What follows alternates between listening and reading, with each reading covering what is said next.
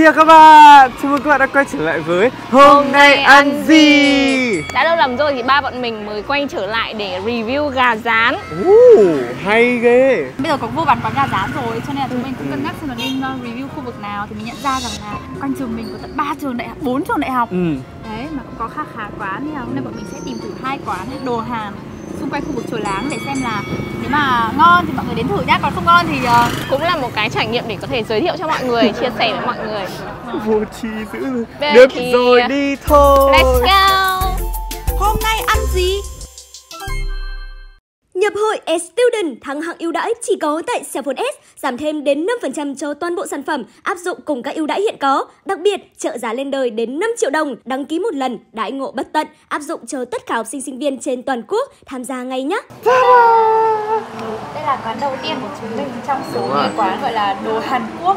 Dạ. Ý là nó cũng đông và xung quanh đây thì cũng có nhiều quán lắm. Ô, thế nhiều người đặt ship phết nha Ừ đúng không? Đó, cho nên là bọn mình cũng đến quay thử. Đây là lần đầu tiên ta ăn quán này mặc dù ta Ô, học ở đây. xem Ồ, me too Yeah, yeah. Cái ấn tượng đầu tiên khi mà mình bước chân vào quán này đó chính là trông quán rất là xinh nhỉ Đúng rồi, kiểu- Kiểu người ta decor như Hoa. quán cà phê ấy Cảm giác như quán cà phê Hàn Quốc ấy Bọn mình thì gọi ra ở đây vài món gọi là cơ bản các quán đồ Hàn Ừ. để có sự so sánh rõ hơn với quán tiếp theo. Đấy thì bọn mình có gọi mì lạnh bò bulgogi này, nó trên nhân phô mai. Gà viên phô mai hoa tuyết Còn cái phần mà mọi người thấy ở đây thì nó sẽ là banchan Banchan. thì bọn mình sẽ có một số loại kim chi này, sau đó còn có thêm chả cá, lạc nữa. Đó. Phê Lan em lên giá luôn cho cả nhà mình nha Để nhà mình cân nhắc chọn lựa nha Ok Gà viên phô mai hoa tuyết 85.000 Kimbap chiên lên phô mai 59.000 Mì lạnh 85.000 Bây giờ chúng mình sẽ ăn thôi Ê, nhưng mà cảm quan ban đầu nhìn cái đĩa thịt gà ấy trông kiểu bắt mắt ha, trông kiểu đẹp. con các thứ khá là xinh. Mời mọi người à. Mới nha, mới nha.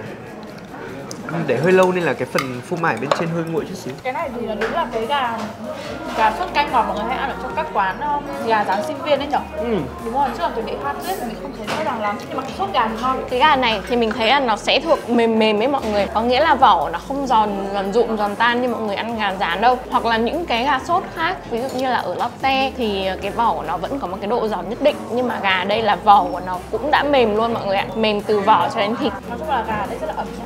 Trộn Đúng rồi. bị khô. Có điều là nếu mà mọi người hy vọng cái hương vị hoa tuyết thì thực ra nó sẽ chỉ là một cái lớp uh, Nhỉ. phô mai chảy bên trên thôi chứ nó sẽ không phải là kiểu sốt như ban đầu bọn mình kỳ vọng nhưng bù lại thì cái phần sốt ngọt lại rất là ngon. Ừ, Vừa đúng rồi. Nó Dễ ăn. Ừ, đúng rồi, nó cái phần sốt ngọt ở bên ngoài, áo bên ngoài nó khá là vừa phải. Nó không quá đậm đà nha. Cảm giác là nếu mà chấm thêm sốt vào nữa thì ăn cũng ok ok. Đúng rồi, nhưng không bị ngọt lợ đúng không? Ừ, đúng rồi. Quá dễ chịu. Ok. Rồi bây giờ chúng mình sẽ ăn uh, kimbap Nhưng mà miếng bát rất đẹp nha.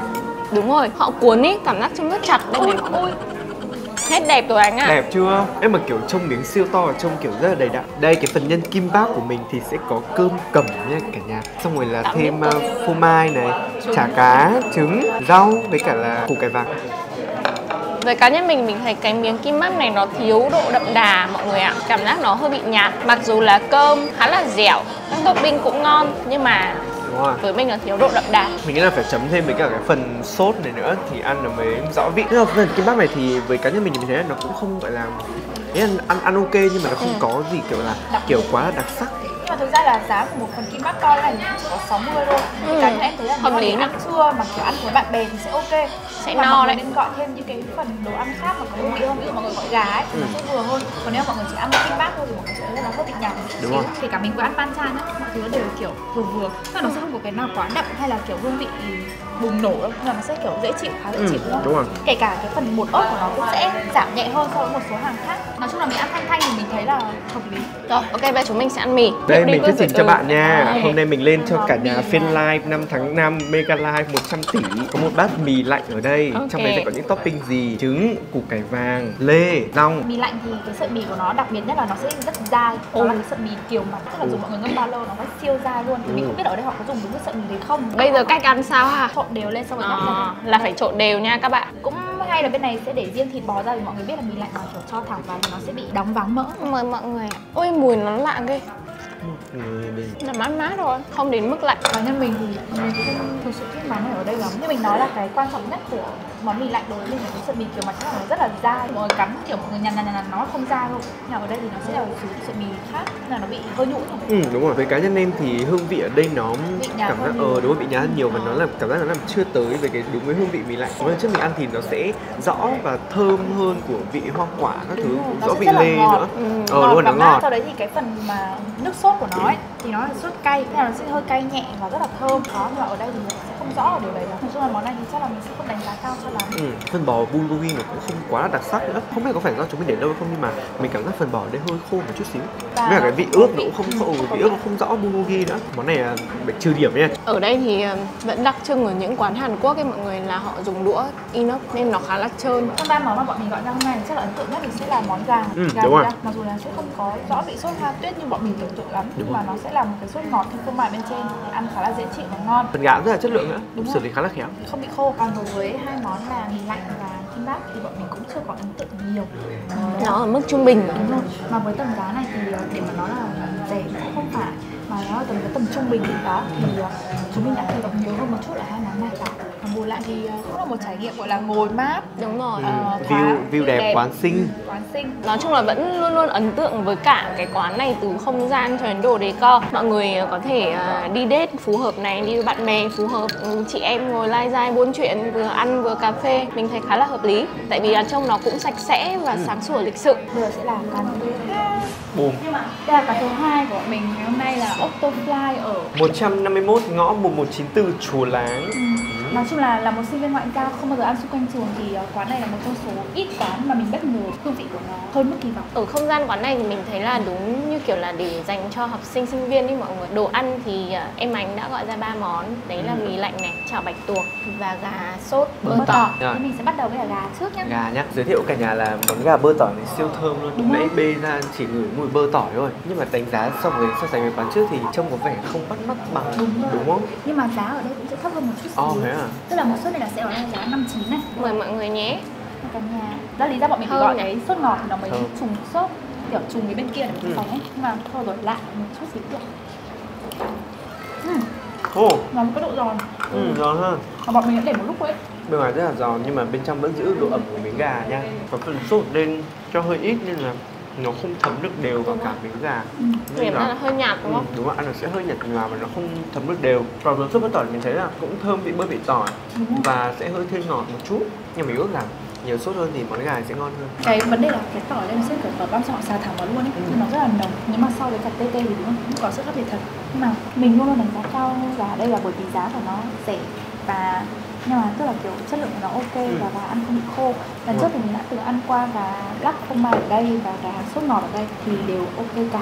Đó nói chung là dễ ăn và trong tầm giá thì phù hợp. Đây là chả bạch tuộc size M tức là có một size to hơn nữa size L.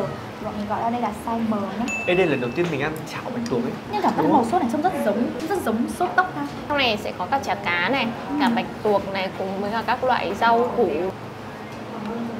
Ừ, ngon phết mà nó thực sự là sốt tóc ấy. Nó đúng nghĩa là sốt tóc sinh viên ấy. Một chút cay thêm cả ở đây thì thêm ngọt nhiều hơn một chút xíu đúng không? Mình đã từng ăn chả bạch tuộc cay ở một số nơi khác thì nó khá là khác. Đúng tức rồi. là nó sẽ thiên về vị cay nồng và hương vị nó sẽ hợp với cả hải sản hơn còn cái này thì nó chỉ là một loại sốt ngọt thôi. Ừ. nên là nó không quá là hợp nhưng bù lại thì cái phần bạch tuộc nó Ờ. rất là giòn. Bạch tuộc ngon ha.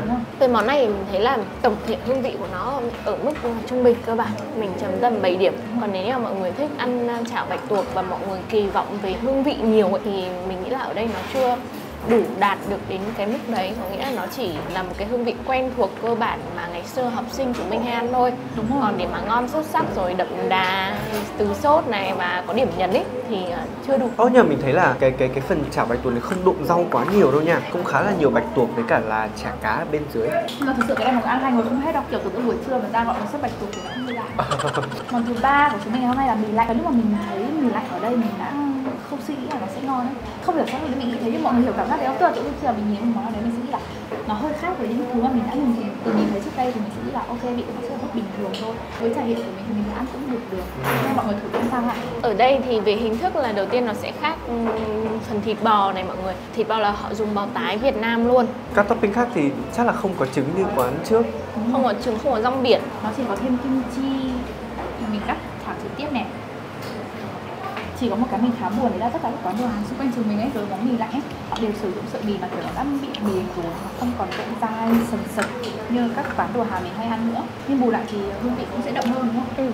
Ừ, cái phần nước dùng ở đây thì mình thấy là đậm đà hơn quán trước Đúng rồi. nhưng mà nó sẽ là của cái vị kim, Kim chi, chi đúng rồi. ở quán trước thì nó sẽ thiên ngọt nhiều hơn lần đầu tiên đào sâu vào mì lạnh của mình có vẻ không thành công lắm bởi vì là hai quán sợi mì nó đều bị nhũn. Sợi mì quán này thì có vẻ là bị mềm hơn nhũn hơn quán kia một tí một tí. Với là phần nước dùng của bên này có đậm đà hơn so với quán trước nhưng mà nó vẫn chưa phải là um, quá là chuẩn vị của của mì lạnh. Nói chung là mình thấy hầu hết các quán đồ hàng ở xung quanh khu chùa láng ấy sẽ chỉ mạnh một số món cụ thể thôi mà thường sẽ là gà rán hoặc kim bát tức là những cái món nó rất cơ bản. Còn khi mà làm những cái món khác mà kiểu thường yêu cầu Hàn Quốc hơn một tí Ừ, ừ. thì nó sẽ thường không quá là xuất sắc thì mọi người có thể cân nhắc. Còn với tầm giá này thì mình nghĩ là nếu mọi người đi ăn đồ hàng thì tầm giá này cũng không phải là tầm giá quá cao tức là ở mức cơ bản. Đấy thì 59 này 129 7 mấy thì nói chung là nó cũng rơi vào khoảng là tầm giá trung bình thôi. Nhưng mà bằng chung mọi người đi ăn cái món này thì cũng chia ra vài người thì chia ra nó cũng khá là rẻ đó. Còn ờ, về chất lượng thì nếu mà để mà đã xuất sắc thì mình nghĩ là không dễ ăn và kiểu ăn trưa nếu không biết ăn gì thì thực ra đây cũng là một sự lựa chọn mình nghĩ là có thể cân nhắc. Ừ, thì đúng nó rồi. cũng thoáng mát và đồ ăn ở mức ổn Ôi nhưng mà quán này đúng là mình recommend mọi người có thể thử cái chả bạch tuộc khá là mới lạ nha ừ. hoặc là mọi người chảo gà nhá chảo gà ok đó Ngon ha ừ. Nếu như mọi người biết những cái quán á, bán đồ ăn Hàn Quốc nào mà nó rất là ngon, mới mẻ thì mọi người đừng quên gợi ý cho bọn mình ở phần comment. Còn bây giờ thì xin chào, hẹn gặp lại. Đừng Bye, quên bye. subscribe cho hôm nay ăn gì. Muốn chúng mình đi thử những quán nào nữa thì có thể comment phía bên dưới nha Vừa nói xong ấy. Quán khác á, content khác ngoài gà luôn đấy Hôm nay ăn gì?